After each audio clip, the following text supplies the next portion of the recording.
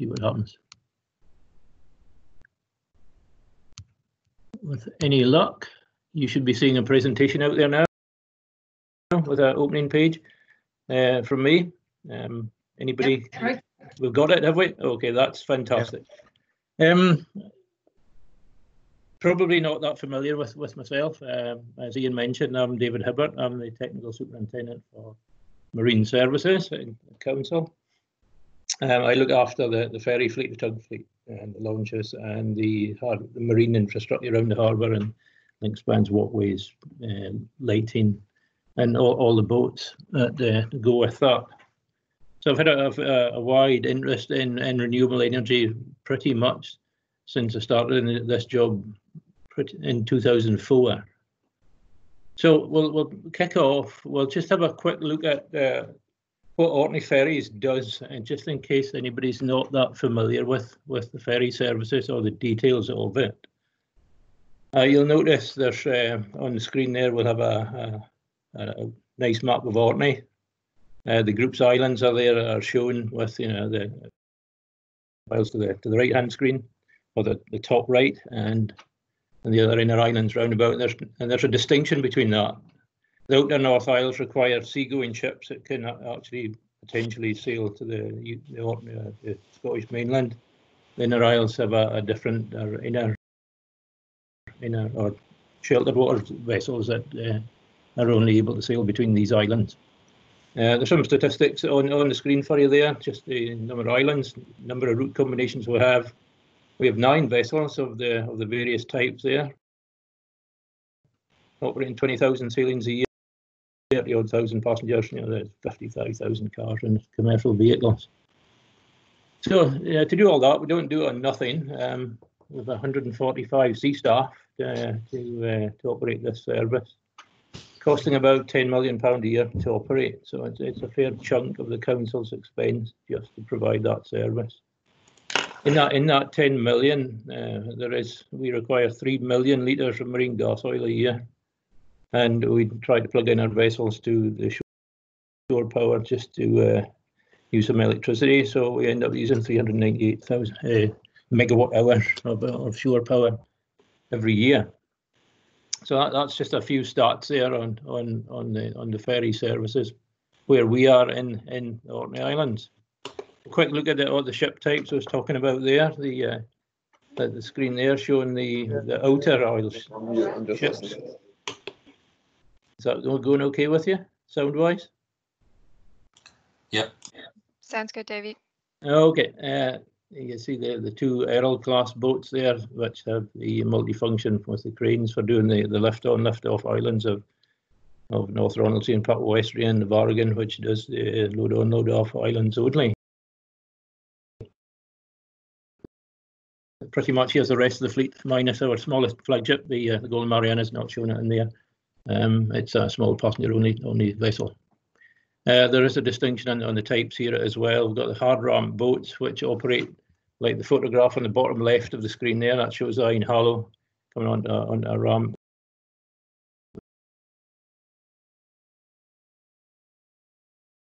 Whereas the Hoy Head uses a, an arrangements like the, the Outer North Isles. Okay, um, just uh, looking at a, a global context now, I've pulled a couple of couple of images off the HySeas 3 project, uh, one of the justification files for this.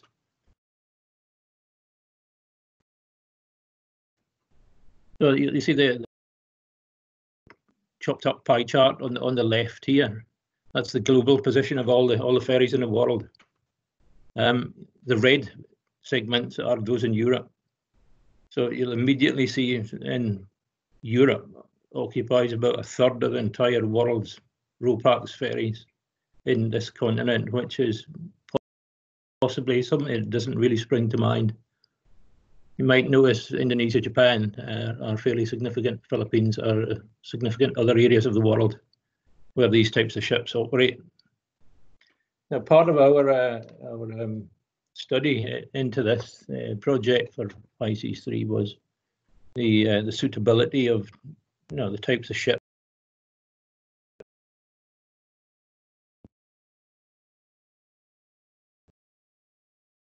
these ended up being relatively small ships because of the, the fact of getting enough fuel on them and the technology available to propel or to drive them with uh, fuel cells or whatever we have available at the time. And I promise you, this is not a warm up for Trond, but uh, if you look at the, uh, the image in red, that shows Norway having the, the biggest proportion of, of these ferries by a substantial margin. Uh, sort of UK, uh, uh, Greece, Italy coming loosely second um, in that Turkey area as, as well. So um, there's probably a reason for this that why you find most of these hydrogen ferry projects have ended up in Europe. It's because we have the most suitable ships for that pretty much in the world in this area. Oh, uh, what's been going on in hydrogen ferries over the last 20 years? There's been a lot of projects globally, um, partic particularly in Europe, of course. I've been looking at all sorts of fuel cells and different types of them. I don't know if you're aware, there's multiple different types of fuel cells, from solid oxide to proton exchange membrane, high temperature, low temperature, different technologies. Um, going back 20 years ago, uh, there was a number of projects, uh, Rolls-Royce and um, a number of different companies looking at trying to use uh, high temperature fuel cells burn methanol or, or current fuels, even diesels at the time. LNGs was used in early days. Pretty much all of that has now settled out into the last decade has pretty much settled in the proton exchange membrane one, which is ones we're seeing coming through now. And these are the type of ones you'll find in the bus projects and the hydrogen cars that you, are available to buy. The, possibility though, the problem has a lot of the power scale has been kept down to the sort of auto, automotive size. So 50 kilowatts, 2030 is kind of kind of common in that that uh, that type of uh, vehicle. So what I'm going to do, I'm going to look at quite a number of, uh, different projects from around UK uh, and, uh, and, and Europe, uh, which have been influencing what uh, what's going forward and, and what we're doing just now. Um, first one is uh, this. This is the the uh, Bristol hydrogen boat. Now th this type of ferry is as simple as it gets.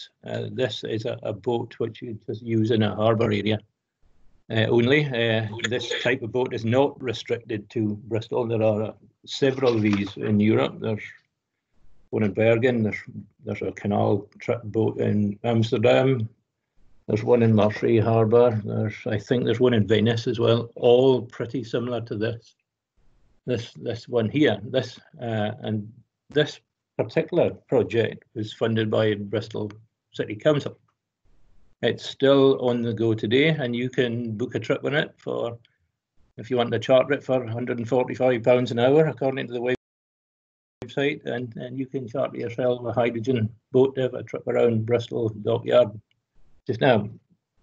Now you might notice the uh, it is a, a, very simple power package. If you look at the sort of the, the, the diagram of the components the, on the bottom right of the screen there, see a, a small 12 kilowatt PEM fuel cell, a small hydrogen tank, which is supplied from with industrial hydrogen from cylinders, power management system battery, and uh, electric motor. This is pr pretty much the base of most of the uh, exchange membrane drive ferries we're going to going to be looking at. So this this is where it starts at the, at the bottom end of the of the project scope. This one now, this it really excited me. This project, this one is uh, in Germany. It's ZEMSHIPS Alsterwasser. It's um, it's a, a boat. It was uh, or a project started off 2007, uh, ran through to about 2012. Uh, it's fantastic. Now we're look, almost looking at a a proper ferry here. The only thing is it doesn't leave the, the river, and it runs around the Hamburg area and and the, the near near area.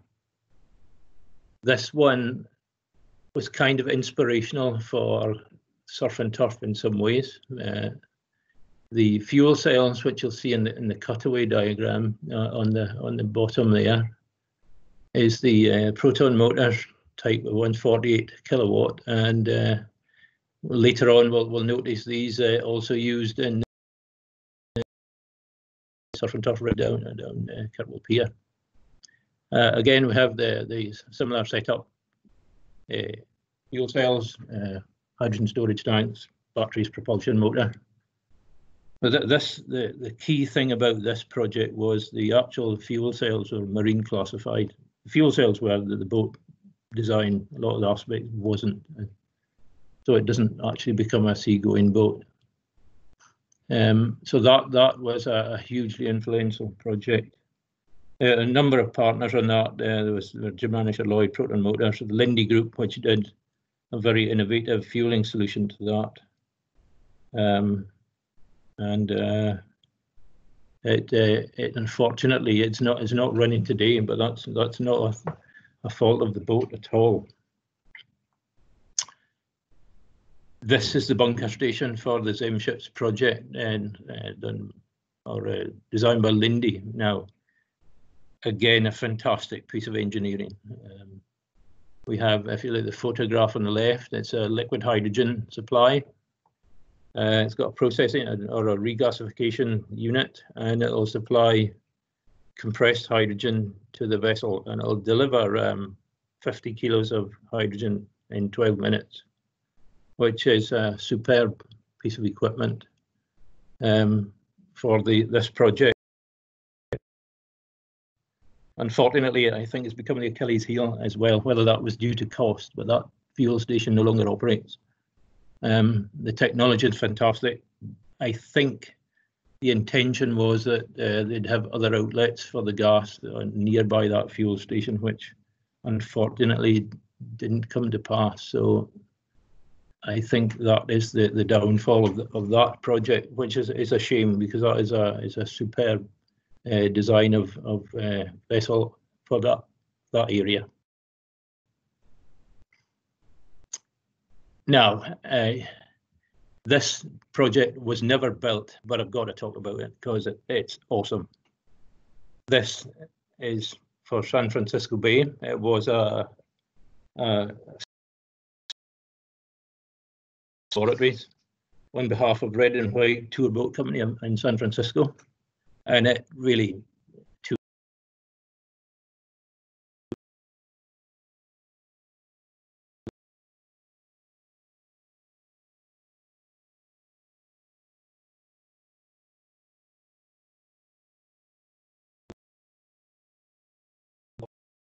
35 knots.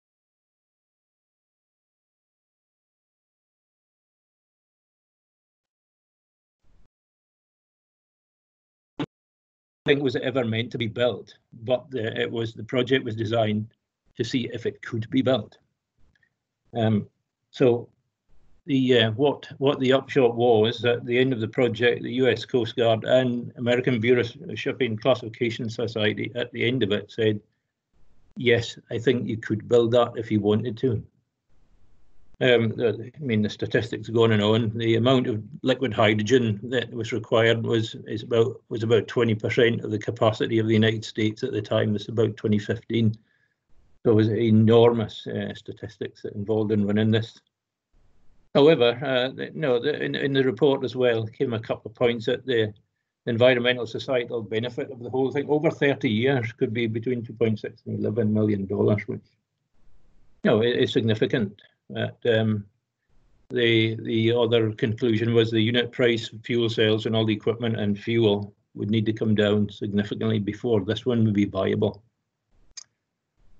Now, the, the beauty of that project is that it spawned another one which this one's real and it's also uh, San Francisco. Uh, this is the water go round project. This, you look at the bottom, this is the vessel being built, which is meant to be in the water at the end of last year. Isn't at the moment. There is some delay on it. Again, a lot of the learning from the SFBRE project went into this.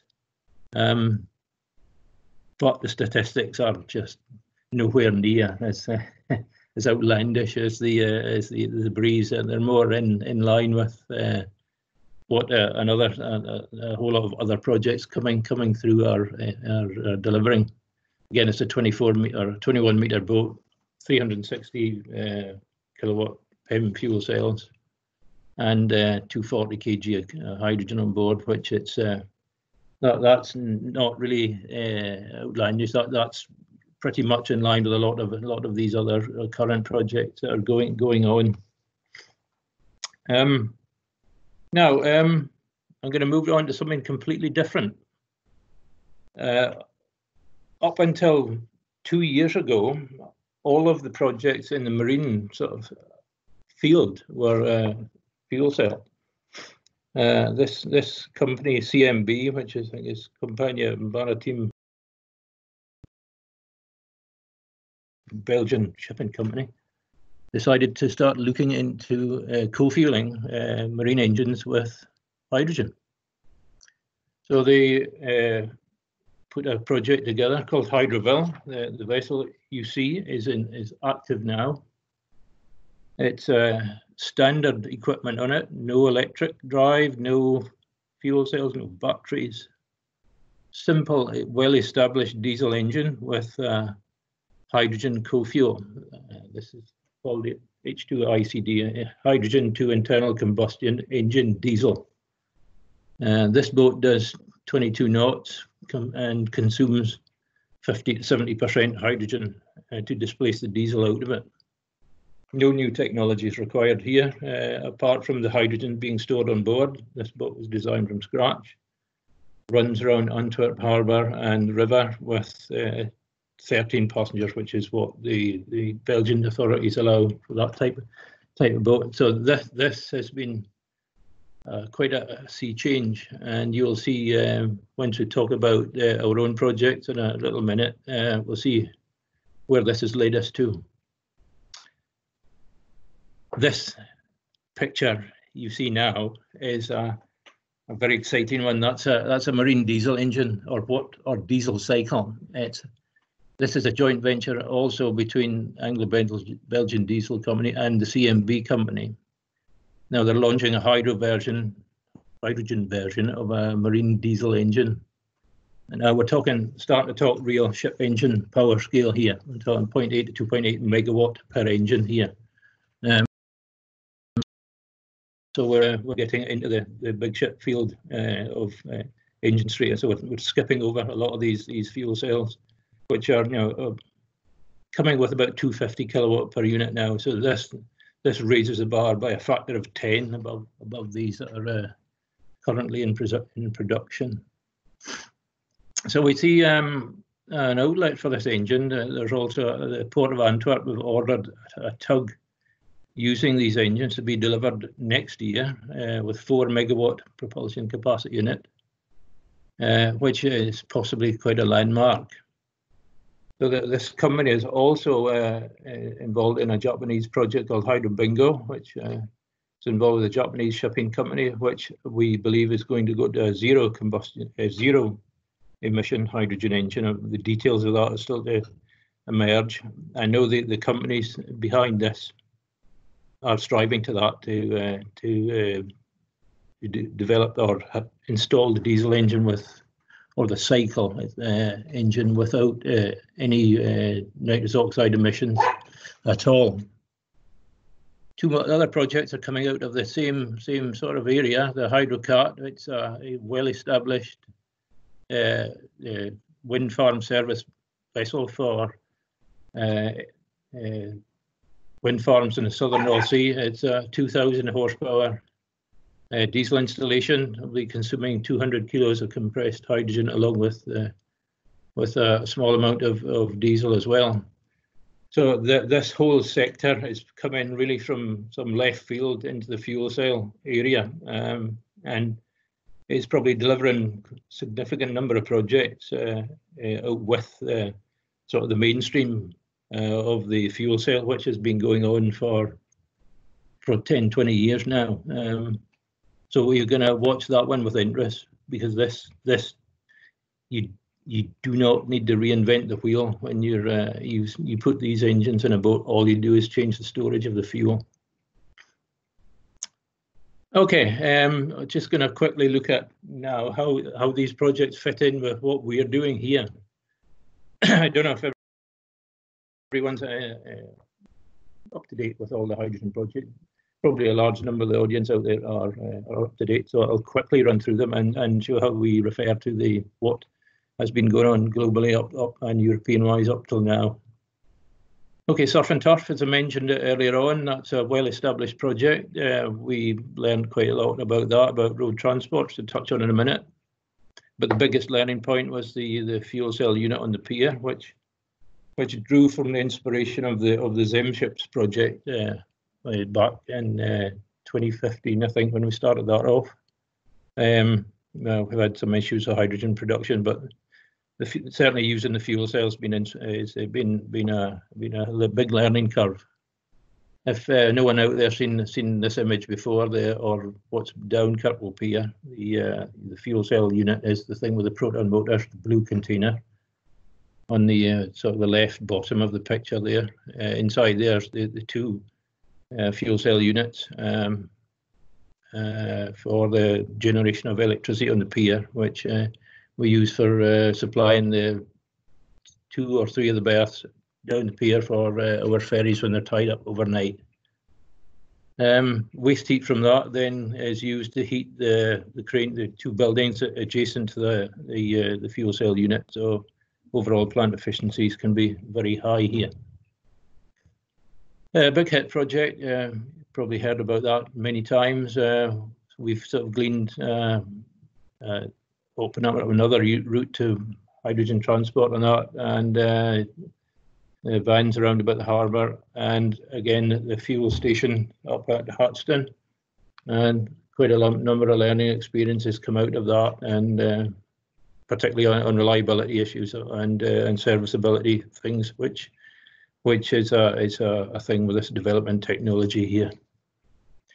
Um, as I mentioned earlier on, transporting the hydrogen by sea uh, was a was a learning experience for us with the uh, the differential between uh, road transport rules, which uh, transpired to be not as stringent as the IMDG, which is International Maritime Dangerous Goods. So as, as soon as you put something on a ship, that's that's the standard it complies to, and the number of things we had to do to overcome that the bottom bottom picture shows a like a, a stowage arrangement with a, a three meter uh, uh, uh, low flash point area or the uh, protected area around about the uh, trailer on the deck. So I'm going to quickly look at the two two uh, ship based projects that we're running here.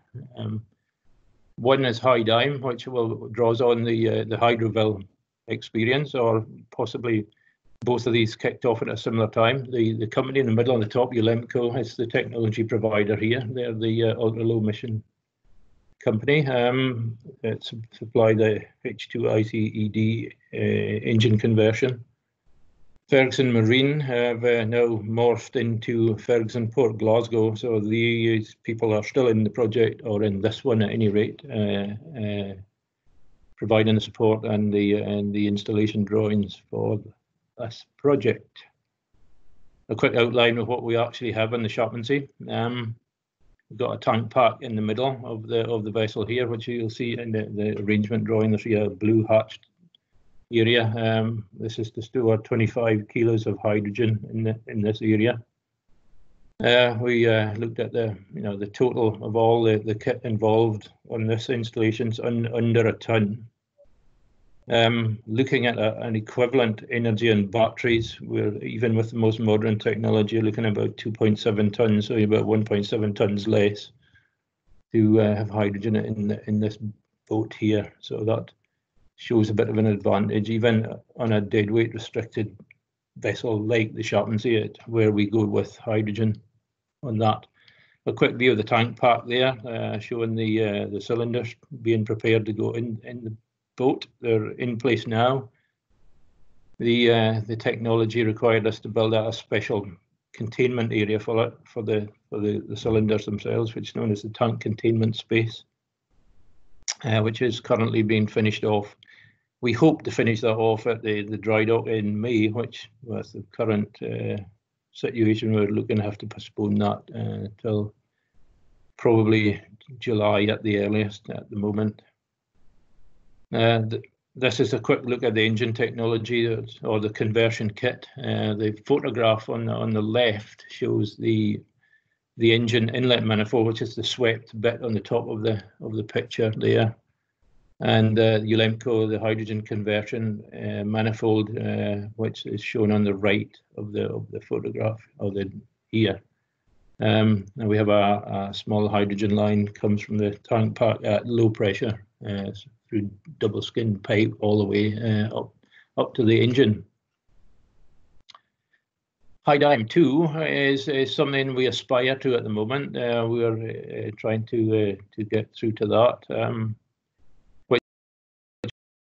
scale up of HyDime 1, which is an auxiliary engine only. Uh, we'll be moving into main propulsion engine, more hydrogen capacity in a longer route, again using a ferry. Uh, but we see the uh, the CMB projects possibly taking a bit of that uh, or, or going a bit further, but again, uh, they're on either the the commercial, the tugs, and uh, and the the small passenger uh, craft sort of side of it. So that we think there's probably still uh, potential for us in in that area. Okay, here uh, we have the HySeas 3, which is the one you may or may not have heard about. That's the uh, fuel cell replacement vessel for the, the Sharp route itself, um, which is a technology proving exercise. We have to get an, a, a, marine approved power plant uh, to put in that vessel, which is something that doesn't quite exist at the moment. Uh, we have fuel cell units that are approved but a whole whole power system we don't have. So uh, I'll just bring up the partners quickly here, uh, which you can see. Um, Ferguson Marine at the top. Uh, you're probably aware of. There's quite a lot of history on that. Um, at the moment, uh, they've they are now out of this project, and to be re replaced in quite short time by uh, CMAL, the uh, the ship owning company of the Scottish government. Um, just some progress on this, that, this uh, project. Um, there is six fuel cell units to go into the HySeas 3. Um, the small scale power tri plant trials was carried out last year with one uh, fuel cell unit and power control equipment to suit in Kongsberg. Uh, that was successfully completed. Uh, the new new plans for that is the new power plant is to be completed by March 2020. That's not going to happen now. That's going to be looking at June to September area. There's a three month, uh, the, the proving trial of the full uh, rig has to be three months uh, on full load and, and cycled up and down. So that was to commence in March, finish in June. Now, latterly we're looking at June, finish in September. I've got a horrible feeling that's going to end up pushing back a few months uh, again as a result of what we're seeing just now. Um, yeah, at the end of this, we'd have class approval for the entire power plant system for this uh, ship build. Um, this is the HySeas 3 build. This is what it's currently spec'd as. Um, I've put the box up there will make it look similar to what we've seen in the previous one. So the vessel operator inter island Orkney. It'll be classed as a Euro C, which would allow it to go out to North Isles as well. 40 metres, 100 passengers, 70 tons of 75 ton Roro cargo, and uh, driven by 625 kilowatt PEM fuel cells, uh, holding about 350 kilos of hydrogen, which is about enough, we think, for a day and a half running at the moment. The idea is that the we're still hoping that the or CMAL and Scottish Government finance this um, uh, finance bid to go in at the fall of this year with a, a builder procured for next year. Uh, we'll see how that goes with uh, with current issues. Um, one thing that's slightly deviating from the you know the, the ferries technology line is is the operating of the vessel, which everybody forgets about, which is a thing we definitely haven't forgot about here. It's um, there's a number of issues to make sure that the crews are trained and the and the safety management systems are, um, are suitable or approved by the Transport Authority that uh, we uh, we have to deal with, which is the Maritime and Coast Guard Agency. Um, time's running on, so I'll, I'll not go on too much about that since it's slightly off off the track, but a huge amount of work is going on with uh, Orkney College Nautical Department and uh, ourselves at Ferries uh, into the, uh, the issues uh, regarding this. So, um, so to end up, with, I've um, what's stopping us from getting on with it uh, just now. Um, I've put a few points all in all in amber. Uh, one of them regulatory approval, uh, which you know the projects we're looking at uh, will push through uh, with HySeas three if it that'll push a lot of the boundaries away from that. But we're also seeing these uh, other countries, which I've not deliberately not talked about Norway, given the next presentation coming up. Um, that uh, a lot of these boundaries are, are quickly being pushed back and, uh, and uh, conditions are being met. Again, infrastructure. Um, we do have a, an increase in infrastructure in Orkney for uh, production of hydrogen. That needs to step up significantly, but um, looking at the uh, looking at the possibility of uh, retrofit hydrogen arrangements with these co co-fueling thing, projects where you would be able to uh, convert existing equipment to run on hydrogen, I think is probably a thing that might might be able to start using that hydrogen a lot quicker than waiting for uh, uh, fully committed uh, fuel cell or other projects to come through. The training and familiarization we, we're, we're, we're working on uh, reliability and re resilience, which is a, is an issue, um, which we've seen with all the projects that are going on. Um, training and uh, and familiarization is is is a, a certain uh, certainly a, an issue here, uh, which we are starting to realise and uh, look at uh, training schemes, um, which certainly with the crew training for HySeas 3, and remember we built Surf and Turf rig as, uh, as a marine training rig. Uh, we, are ready to, for that. Costs again are, are, are kind of uh, uh, working against most mainstream projects, but they're coming down. Uh, but the, the last point here is the scalability. It's the most exciting thing I, I see coming through there. There's great, great technologies coming through here because the main thing that kept the hydrogen off anything but the smallest boats. is the amount you can carry. It's the amount of room that it takes up to carry it. I'm seeing um, uh, technology involving uh, absorbing hydrogen into oils and, uh, and other uh, solid materials coming through uh, quickly here. Uh, and I think the the liquid organic hydrogen is the one that excites me most because you can you absorb hydrogen in, into oil and then you store it as a stable liquid and you can get that back easily. use ordinary tanks in a, in a ship, which, you know, ships are not particularly round, tubular shaped unless it's a submarine, but uh, that's where where I think that uh, that is is leading us uh, quickly down that road. And that's just thank you very much from me for for listening, and and I hope um, you've heard this clearly, and um, I look forward to your questions. Yeah, thank, thank, thanks very much, David. That was really good. Uh, um, there's a pile of questions I'm seeing coming on the chat. So uh, our plan is maybe just if there was a, we'll give you one or two questions, Davy, maybe before you yeah go for it. Yeah, sign off that are specific to you. So I think Jane was collating the questions, so we'll maybe get her just to ask a couple of the questions in general. And then just to let people know, I should have said at the beginning, we'll have a five minute break sort of thing between that to allow people a comfort break before we go on to Trond. But Jane, do you have a couple of general questions to see? There's an awful lot of questions there, so it's going to be quite tricky. Yeah, sure. There's lots of really good questions coming in. So I'll just pick out one or two, as Ian said, and we can save the rest for for the discussion at the end.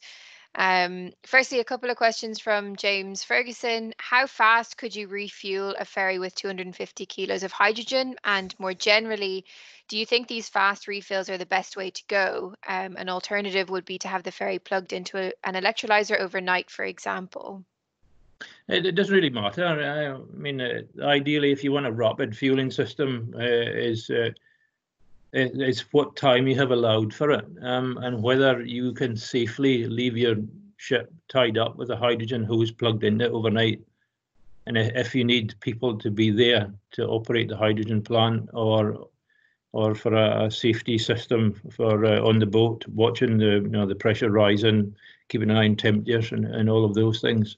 I suspect the regulatory authorities will require that in in the first instance. So there, um, there'll be quite a lot of extra labour costs uh, involved if if you would be uh, doing a, a, slow fill overnight, uh, whereas whereas if you did a quick fill uh, in the order of the the ZEMSHIPS at uh, 50 kilos in 12 minutes, that that type of that fill rate, you'd you'd be using a lunchtime or a, you know your your normally uh, your normal bunkering time for a, a, week's fuel on on the, the Shapinsay might be 20 minutes. So I mean the, the the systems are set up for that, but know there, there is plenty of scope to look at longer stopovers. You know we got a, a lunchtime and then some time between between runs morning and evening. So whether you do a, a splash and dash, to use the Formula One terminology, and, and a main fill, or or uh, or or just a main fill. Great, thank you. And two questions specific to Orkney. Um, two questions from Jerry Gibson. The first one Are hydrogen vessels the best option for replacing Orkney Ferries' old vessels? And the second one Would it be better for the Isles to have their own hydrogen production for their ferries? Um, now, there's a whole number of issues that you can touch on there. Um, certainly, the, uh, if you, you're involved in the value chain, you know, at the moment uh, we're using oil. You're basically you know you're you're buying a product and you you don't see the benefit that that that whole piece of uh, the economic generation of that money it just is exported immediately out of the islands. Um, um, as I've said before to many people around it, uh, there, there's a chance to de democratize the, the, the fuel system or the, the energy system here uh, if if that was produced in the islands, be it electric, be it uh, be it biogas, be it uh, methanol. Yeah, there there is a number of different fuels uh, out there. I mean, I haven't touched on that in this. I mean, uh, the other the other competing technologies that are, are out there but certainly the if we could keep that economic benefit in the in the islands, it would be would be best. Great, thanks. And maybe just one more question before we have a short break. Um, would Orkney's internal routes be suited to hydrogen fueled catamarans rather than monohulls? Um, some of them would be. Um, um, the the terminals wouldn't, which is it's another thing. Uh, as, as you probably realise, uh, most of the catamarans are higher, uh, you know, they're higher freeboard out of the water and they're much more beamy.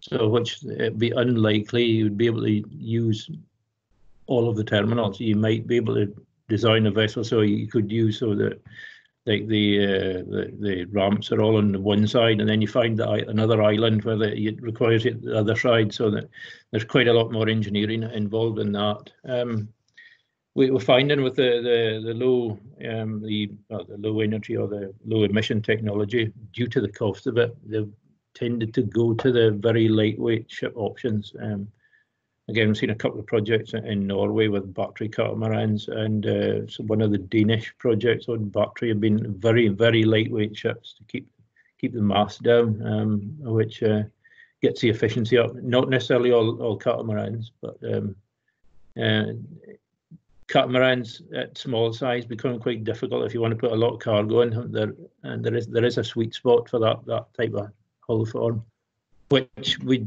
might be coming near on the on the uh, outer north isles. Again uh, there's a, a, a seakeeping issue uh, for catamarans are good for uh, going across seaways. So your main swells are from the side. If they're head on big big swells, uh, you want to be avoiding slamming the tunnel on them, which is the, where the uh, a wave would go up and, and slam the bridge between the, the two hulls. Uh, mm-hmm. There there is options uh, on on changing routes, or if that was to be the the chosen technology, but there's a, just a whole number of issues in there. Okay, th th thanks again, Davey, for that. That's been really interesting, and I see there's a whole lot of congratulations on the chat there, so you can read them at your leisure. if we maybe just take a, a, a, a five-minute break, people will start again at 20 past eight in, in UK time uh, with with Trond. It gives you a chance to have a quick comfort break. And if Davey, if you don't mind hanging around, there might be a couple of questions at the end that'll be general. Okay. I know bother. It'll be interesting to see uh, Trond's presentation because uh, I I deliberately kept away from Norwegian because there, there is a number of uh, a number of projects there are fairly big ones which I'm sure Trond will be uh, going to be telling us about. Thanks very much.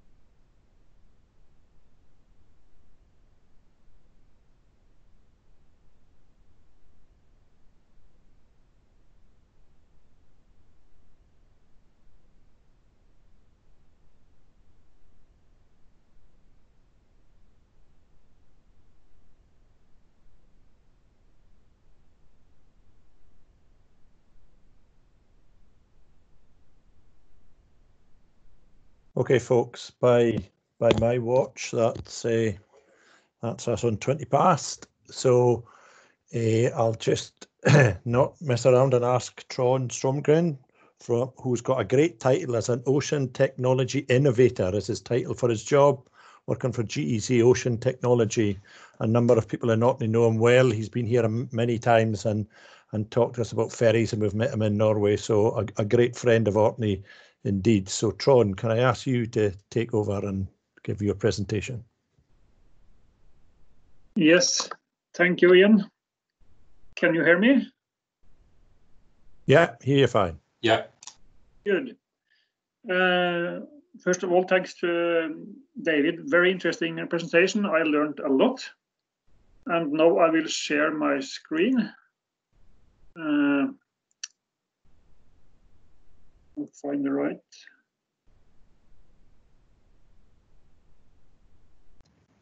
So do you see the presentation?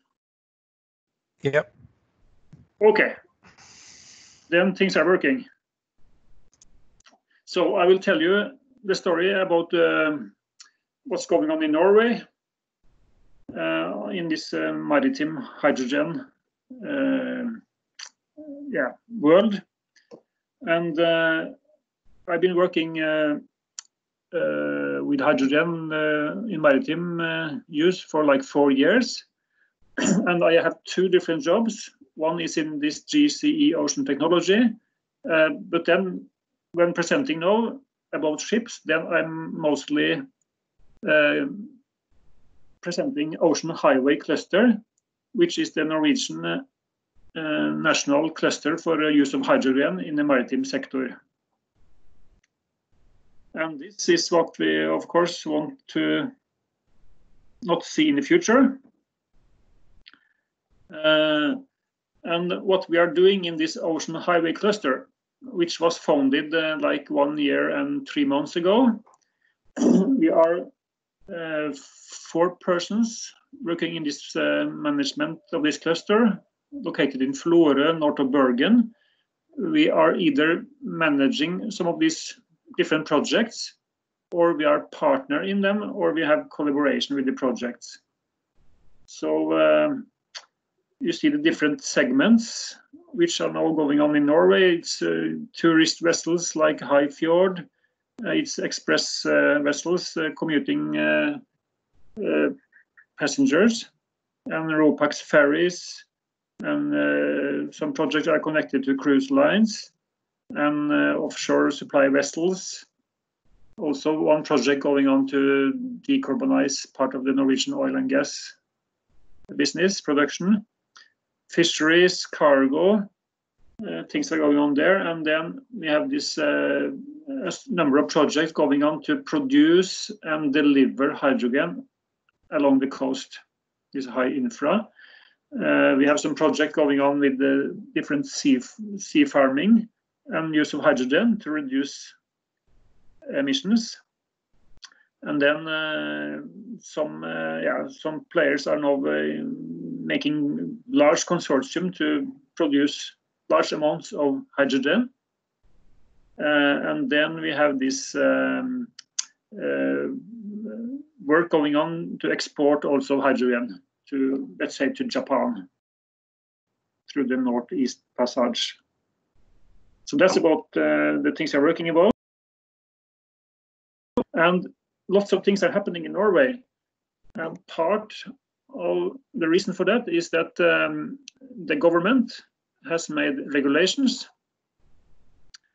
Uh, and one of these regulations is that uh, from 2026 or before, if the technology is ready, uh, no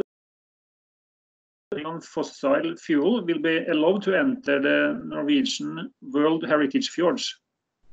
So that means uh, some of these cruise line companies are now preparing with batteries, with the hydrogen, to be able to enter these fjords. Uh, and also, one more important thing, um, which is a key driver, is that uh, uh, all, yeah, nearly all the Norwegian RoPax uh, ferry routes are owned by the Norwegian government, the Norwegian Public Roads Administration, and uh, nearly all the um, high-speed passenger vessels. These routes are owned by the different counties in Norway. And then uh, this uh, Norwegian Public Roads Administration, two years ago, they made a tender saying that one of these RoPax ferries should be zero emission and should be running on hydrogen in the future. So that ferry is now being built due to this public procurement. And then now, uh, this is a map showing Trondheim in Trøndelag uh, County, three different routes. Uh, there was a tender two years ago, uh, and um, last autumn the result was delivered from five different consortium that had uh, made their technical solutions to run these ferries or these uh, high-speed vessels uh, zero emission. And the longest route to Kristiansund is uh, is like 95 nautical miles or 180 kilometers. So it's a long route, and and uh, you know 275 passengers and 35 knots. So it's uh, lots of energy for these routes. And now Sogn og Fjordane County, where I live, uh, are collaborating with Trøndelag County which this uh, slide is on, and also collaborating with the Troms and Finnmark County up north in Norway. Uh, they are making uh, um, tender together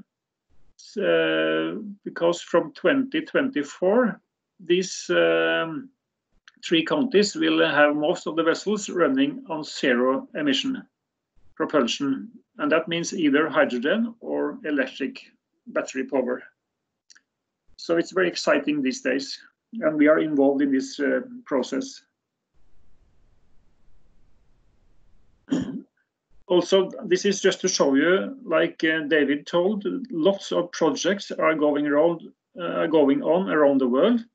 Uh, those who are members in Ocean Highway Cluster, these companies, they can enter this uh, uh, database we have and it's uh, we have listed uh, more than 40 different ships, which is uh, then some kind of hydrogen project connected to these ships. Some of them are being built, some are being planned. yeah. So then I will tell you about some Norwegian projects. And Norled is uh, one of the four large uh, ferry operators in Norway. Uh, and they won this tender that the Norwegian Public Roads Administration had.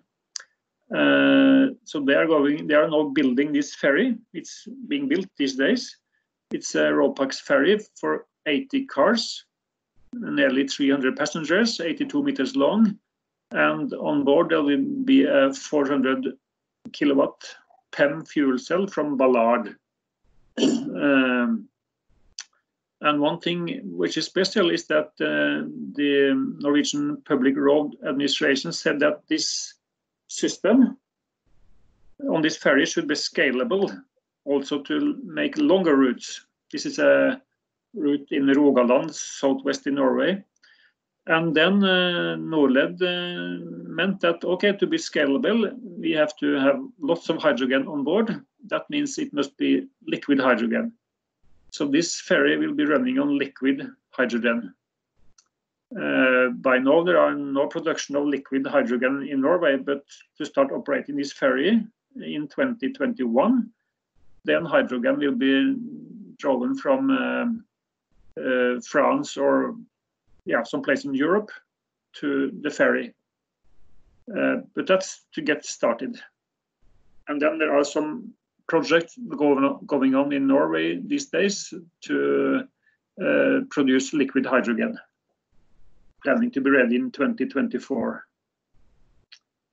And uh, also, actually, Norled is going to build one more of these ferries in this uh, EU flagship project and that ferry will be uh, running on pressurized hydrogen. So, then we move to these high-speed vessels. So this is a, new design. Uh, it was launched uh, the 3rd of September last year. It's a design by Brødrene Aa, which is a shipbuilding and design company located close to where I live. Uh, and uh, part of my job last two years was to manage this project, uh, this project developing this this hydrogen propulsion high-speed vessel. It's um, it can take uh, yeah up to 200 passengers, uh, travel 35 knots, like 2.2 megawatt propulsion, um, and this is then decided to travel on these routes along the coast. For instance, from Trondheim to Kristiansund, this 95 nautical miles route. And uh, this is a carbon fiber uh, structure, very light and optimal uh, design of the hull, so that makes it very energy efficient. Uh, there are other vessels like this, nearly like this, running on the coast now, and the same size and the same speed, and they op operate uh, on, let, let's say, between 7 to 20 liters diesel per nautical miles at, at 35 to 33 knots. Some of these vessels, uh, like the 30 meter long ones, have also uh, uh, they can take cargo and cars on the deck aft. Uh, for this vessel, uh, the plan is to have compressed hydrogen uh, in three tanks on the top, and then the fuel cells are in a room where the H2 sign is. And then electrical propulsion. And this company, Brødrene they have already built a lot of electric uh, propulsion vessels. Okay, this uh, vessel is uh, going is now being built. Four of these, they are going to operate um, uh, this year on the Norwegian coast on this Hurtigruten or Kystruten, uh, traveling from Bergen to Kirkenes. Uh, those who are being built now are built on LNG and also a large battery pack. I think uh, like five megawatt hours. And that will make them able to enter these Norwegian World Heritage fjords on battery. Um, but the design is made ready to uh, have uh, hydrogen and fuel cells on board for main propulsion in the future. So this uh, Havila company, they got uh, lots of funding from a Norwegian funding scheme last year. And they plan to have like 3.2 megawatt fuel cells on board uh, this ship or these ships, and then uh, 3,500 kilos of liquid hydrogen stored on board. And they are working um, on this project. Okay, uh, Norway has a lot of uh, emissions from the oil and gas business. Um, so then Equinor, who leases this vessel, they have a plan to use ammonia for uh, most of the energy used to propulsion of this ship. And there's a project going on now or starting now and the design period is now. And it will end up then with a one year test period uh, with a, two megawatt uh, solid oxide fuel cell running on ammonia that will uh, be used to deliver 60 to 70 percent of the energy to this vessel. By now it's running on an LNG main engine, and that engine will also be on board when this ammonia testing is going on.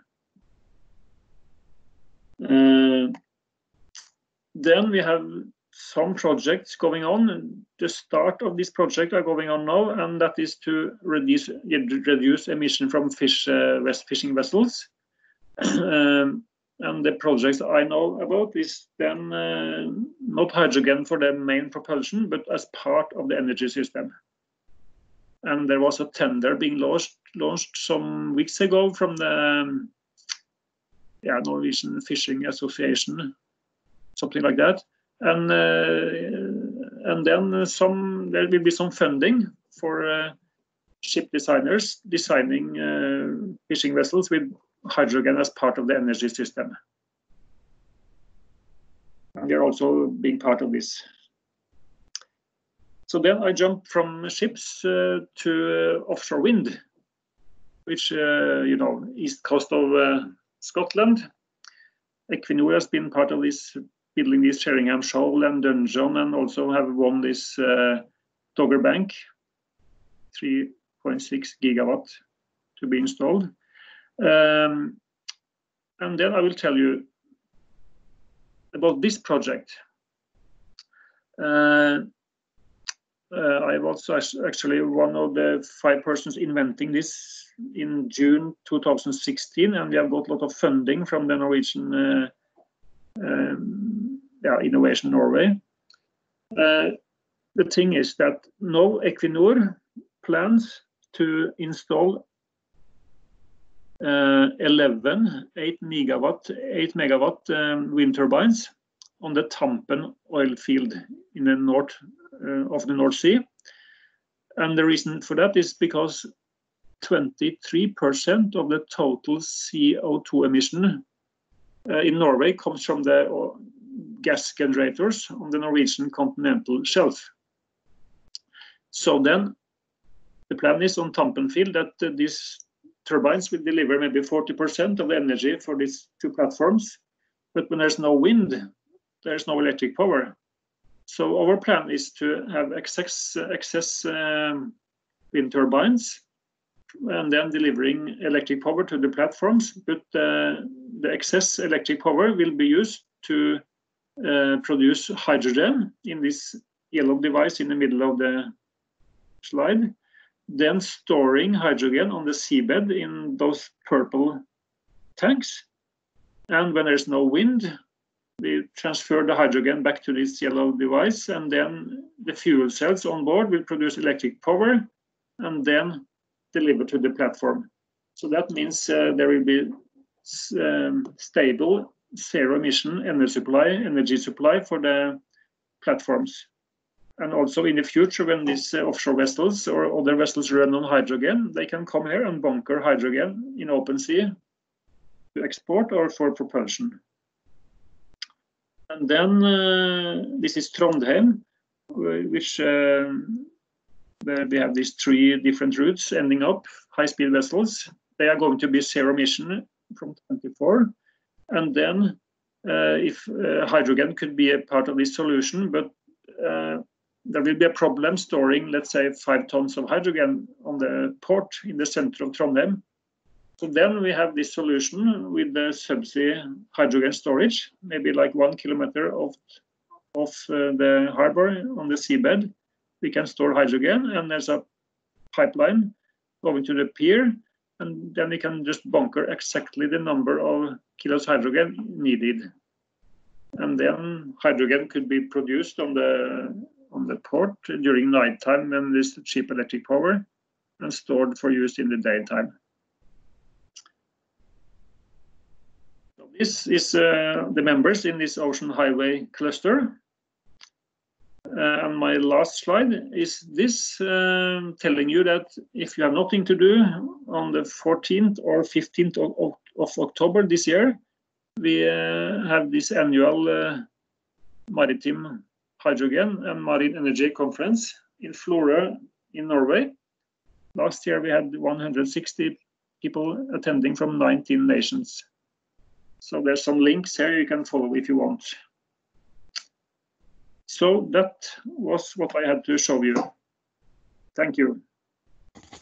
Okay, thank you very much, Trond. Uh, and I can thoroughly recommend going to Florø. We were there last year and uh, a very good conference on everything hydrogen and well run. So, so I can do that. So, uh, just as we did with Davy, first of all, maybe one or two questions. Uh, hopefully Jen's had a, a, chance to pull up one or two of the ones uh, specific to to Trond's uh, presentation, and then we'll just open it up to the floor for a bit more discussion when maybe we'll bring Davy back in as well and just talking things generally in hydrogen. So, Jen, have you got a couple for Trond there? I see there's been quite a few.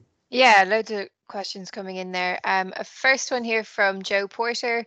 If hydrogen is being transported from France to Norway to power the Norled ferry, what are the implications for the carbon footprint of transporting the hydrogen? Is this counterproductive to the aim of reaching net zero? Yes, good question and uh, and there's a lot of CO2, of course, uh, bad footprint uh, on this transport. But we we don't have at the moment, or in let's say four years, any liquid hydrogen in Norway. So this transportation is then to get started, and it's not ideal, but it's a it's a way to start. And then from 24, we there are plans to deliver liquid hydrogen from Norway, and that makes the story better. I hope. Great, thanks. Um, a question here from Richie Ainsworth. It seems like hydrogen use in the maritime sector is widely supported in Norway. Is this the case? And if so, what can Orkney or Scotland learn from you? Oh, yeah. Yeah, there are uh, different support schemes from the Norwegian government like Innovation Norway, like Enova, and like uh, Pilot E, which is uh, was launched one week ago. Uh, and you know there are hundreds of millions Norwegian kroner in these schemes. And the normal thing is to make some consortium and then apply for money to either build a boat or to test some new methods of reducing emission in the maritime sector, or um, yeah, like build ferries uh, for this, uh, which the Norwegian Public Road Administration has ordered. So lots of good help from the government, and it's uh, both administrative and political uh, wish to make this uh, zero emission come true in the maritime sector in Norway. Great, thank you. Um, the next question from Jerry Gibson. In Norway, is the hydrogen competitive in price with marine diesel? And if so, how has this been achieved? Ah, that's a magic thing to, to find a solution on. Uh, today, the if I if I tank my car with diesel, it costs like uh, 13 kroner per liter. Uh, if I have a ship, I, pay only the half, like 6.5 Norwegian kroner. Uh, and uh, that makes it hard to compare on the price. Uh, one of the projects I've been managing, we made some very detailed, um, you know, calculations on operating a hydrogen vessel and in a specific route, and then taking in account that uh, maintenance of um, hydrogen vessel will be less than for a diesel vessel, and also uh, uh, taking into account that hydrogen price will be like 45 Norwegian kroner per kilo in the future, then if the diesel price rise, rises with 20 percent, then the operation cost of these vessels will be the same. So I think in the, in the near future, I think there will be a price uh, equal price for operating the vessels. Great, thank you. Um, a question from Martin. What is the beam and displacement of the coastal steamer? Uh, I'm not sure, but uh, but uh, just Google that and you'll find a lot of information uh, on the web. No problem. Yeah, or send me a mail. I can find out. Yeah, we can put you in touch, no problem. Um, a question from Neil. Are any of the projects looking at LOHC as carriers? No, that is um, not uh, very much uh, in focus in Norway. But um, I was in Japan in in uh, February, and you know from Brunei to Japan, starting last December last year, 450 kilos hydrogen are transported every week uh, with the LOHC. So it's uh, it's now going on, and I that will it will be part of the presentations at the conference in Florø in October also about this uh, issue. Not in Norway, no. Okay, great. Uh, the next question coming from Max Carcass. Uh, what are the pros and cons of storing hydrogen on the seabed versus on a platform, for example? Um, could the maintenance be tricky? Yeah. Um, storing it on a platform uh, will be uh, more risky than storing it on the seabed. It also will have to be a lot of weight which is, uh, you know, part of a game on a floating platform at least. And uh, storing it on the seabed, we have lots of space down there. Um, and you know not accessible by any by people or with know, bad plans. Uh, but this method is now being developed. We are now going to have a pilot soon. So of course to maintain these tanks, uh, we'll see if it's difficult or not. Uh, yeah. Okay, great. Um, another question here from James Ferguson. How clear are the tipping points between batteries, compressed hydrogen, liquid hydrogen, and ammonia as op optimal fuels? Yeah. Um, of course, battery is uh, very efficient because you have maybe like 5 to 10% uh, loss uh, from grid to propeller. Uh, so then, you know, in 2015, um, the first uh, large Norwegian uh, Ropax ferry was uh, Ampere was built and operating, and you know there are lots of electric car ferries in Norway these days, and many are being built. So it's been a revolution. So of course, for short distances, uh, then a battery is optimal.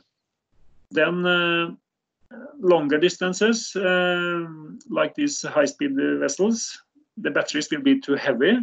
So then hydrogen is a point. Uh, compressed hydrogen will be available in Norway, you know, maybe in one or two years.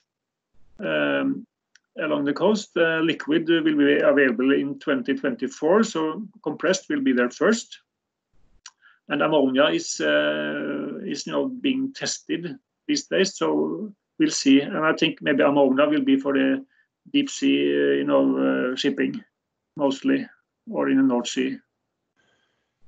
Mm -hmm. Yeah. Okay. Jane, Jane, can I suggest that maybe yeah. if David wants to unmute his microphone, I, I wonder if he would have, be able to answer that question as well if we start opening it up. Obviously, he mentioned in his presentation about different fuels. Have you got a thought on this, David?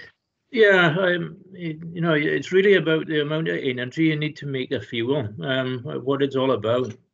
So if you, you take a, a, unit of electricity from a windmill or a hydro plant or anything you want and how much energy you get out at the other end, in its purest form, the electrolyzer, you end up with hydrogen. Um, then you can pro keep processing it on to even get on uh, synthetic diesel, synthetic uh, methane, Uh, ammonia and a number of different fuels, methanols, all of those are possible. Well, of course, you, you expend more energy each time you transform the, the chemistry from the basic hydrogen and keep adding more molecules to make it into a stable fuel.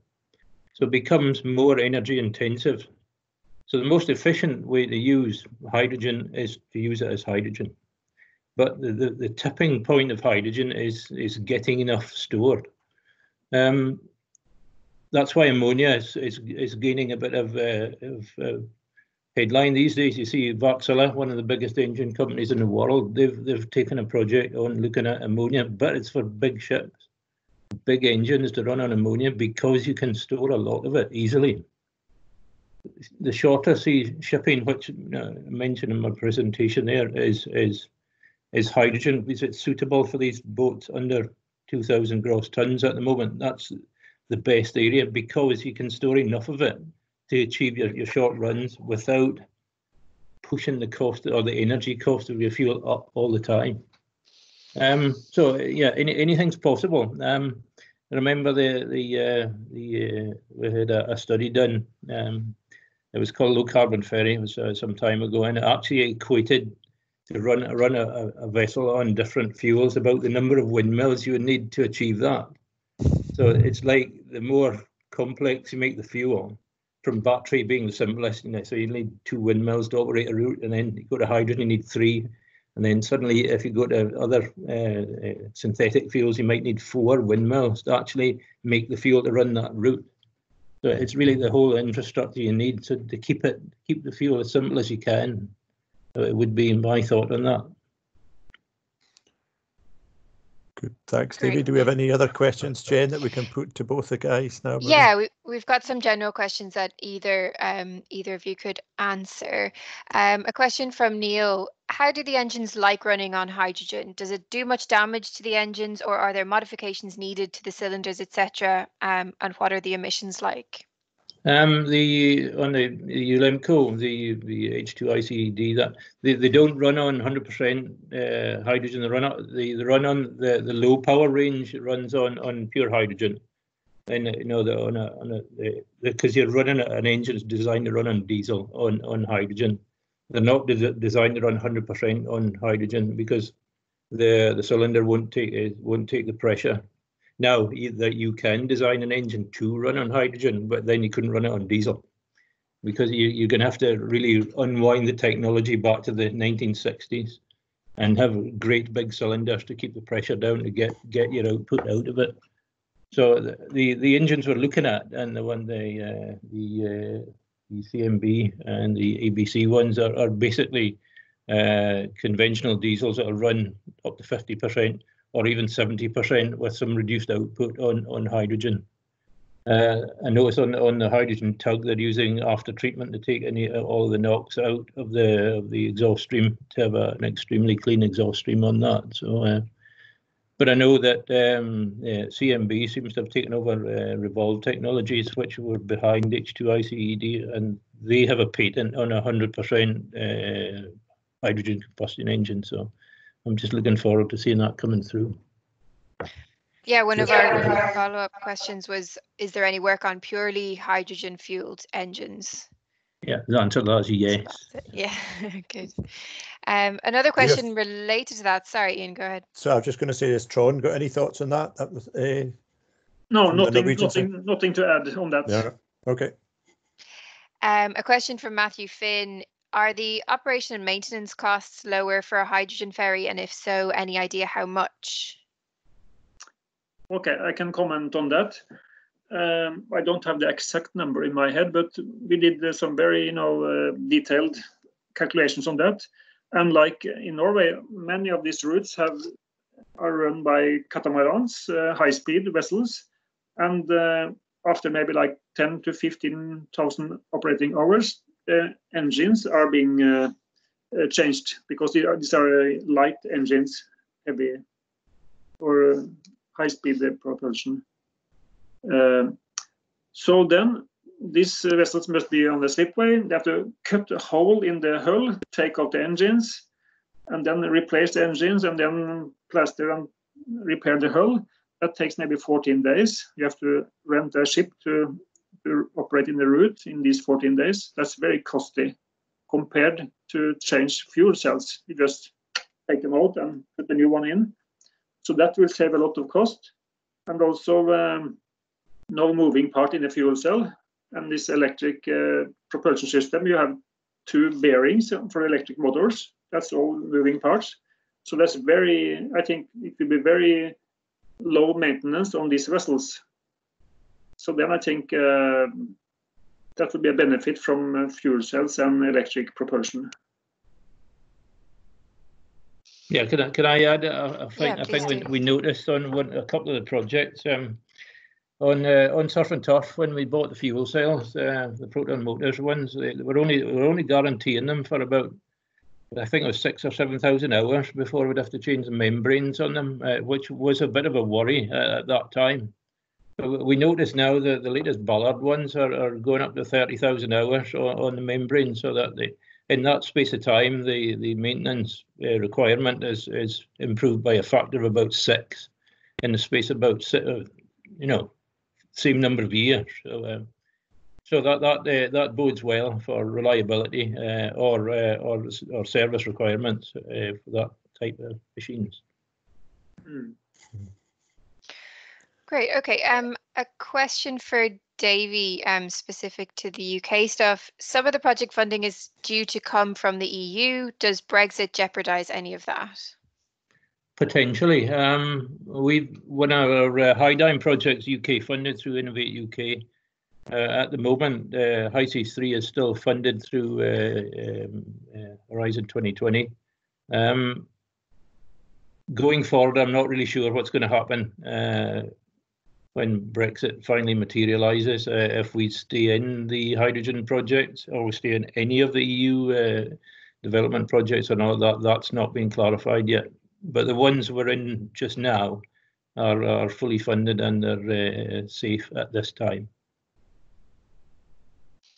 Great. Um, a question here around uh, the training that you were talking about, Davy, that'll be needed for the marine staff. Um, is there training that exists um, at the moment? And maybe Trond, maybe you could add to that in terms of the perspective from Norway. Have there been training schemes that have been particularly successful? Um, yeah, we we recognise this training need really early on, uh, which was a thing. So we we our expertise at Orkney Ferries is operating vessels. So uh, was how we're going to train people. So um, we've been engaged with the MCA and uh, and Orkney College for probably a good two or three years now to develop the hydrogen training scheme. Uh, it was just about at the uh, at the uh, accreditation stage before Christmas, but unfortunately, the, the a new team of surveyors come in and, and made us rework it all. Um, so we're just just at the point of getting that one uh, accredited um, as an as nearest equivalent. That because there is not an international standard on this, this is this is the the, the huge stumbling block for for all of uh, all of uh, uh, you know the international governments. They, so they normally go to the thing called the International Maritime Organization for standard and say, right, we we just pick that standard, we adapt it to our needs, and uh, and roll out a, a requirement. There, there isn't one. Mm-hmm. Um, so the MCA has allowed us to develop one which they will support for UK uh, uh, ships um, to allow us to operate them as uh, in the UK only, uh, which they will allow to use to. The, the wording of it is suggest that they would allow any any UK uh, flagged ship, the UK trained seafarer, to hold that certification to go out with the UK as well. Um, so that that's what we're being worked on that just uh, just right now. We were hoping actually to have the first uh, yeah, training courses developed. It was meant to be happening more or less now, but uh, as I realise, all that's come to a very very rapid grinding halt with the the, the uh, situation we're in. Um, but we're we're probably ready to go on that uh, to get that up and running in the next uh, as soon as we get uh, clearance to send people south again. We have to send them one of the whole ironies of this is that the, the only international standard for our uh, for gas fuel ships is to do with LNG, uh, which so we have to train our crews on LNG, then take them back to Orkney and tell them to forget about everything and train them on hydrogen. So it's it's quite a quite a interesting process. But anyway, if we have to do it, we have to do it. So that's uh, that's we were we're going. Uh, I think also this could be a business case for the players to offer these uh, training courses to, let's say, Norwegian crew members or, or uh, other around the world. And like and in them, I tell you one thing that uh, last autumn there was a the, the Western Norway University of Applied Sciences um, offered a new a new uh, subject to the students, and that was hydrogen technology. So that is now being taught in Norway for bachelor students and that's a good thing. And that is also a plan to make this subject being taught to, to different players around the world if they if they want. And also, I must say, you know, Western Norway will look to Orkney because you have done so many great things on this, you know, zero emission um, or, or, this uh, renewable energy with hydrogen, wind, tidal power. So uh, you're doing a great thing and also with social acceptance, which is important. Uh, you're very clever on that thing, I think. Right. Well, that's a Good. note to finish up, I think. Conscious Yeah, of time, I'll good. leave the questions there. Yeah, I was going to say that too, Jen. That's a very nice. Thanks very much, Trond, uh, back from uh, thoughts from Norway to Orkney. So that's really good. Uh, I would just thank again. I know we can't clap, but we can all thank. There's been lots of uh, notes to both speakers uh, uh, uh, in the in the uh, chat, so that's really good. We'll pass these on to them if they can't see it themselves.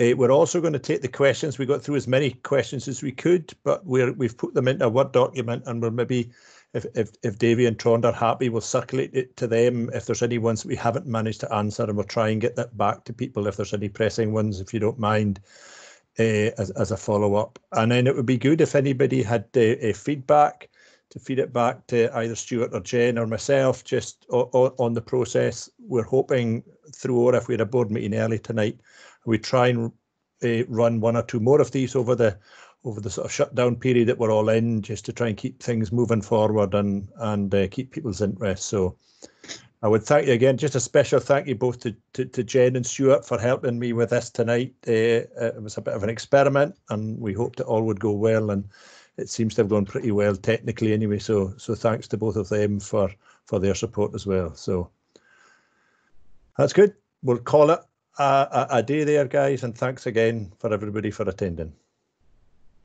Yep. Thanks for listening, and uh, I wish you all well and keep well, please. Yeah, absolutely good sentiment. Thank you. All the best.